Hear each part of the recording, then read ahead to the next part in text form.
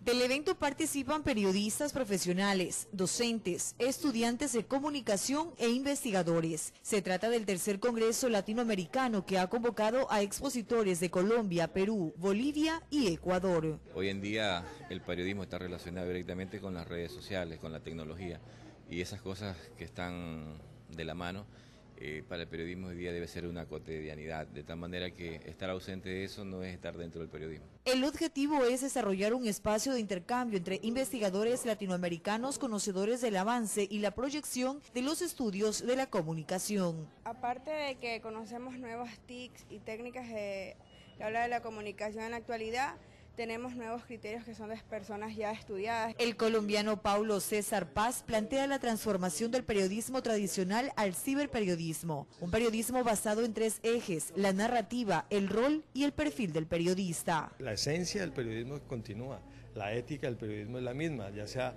en el periodismo tradicional o en el ciberperiodismo, lo único que genera cambios constantes es las tecnologías. Para los participantes es fundamental la importancia que tiene la era digital en los procesos comunicacionales sobre todo al momento de emitir una información y las herramientas que se pueden utilizar. Nosotros debemos tener una conciencia social y que debemos hacernos un nombre, al menos las personas que estudiamos comunicación. La temática del Congreso parte de la realidad que vive el país una vez aprobada la ley de comunicación.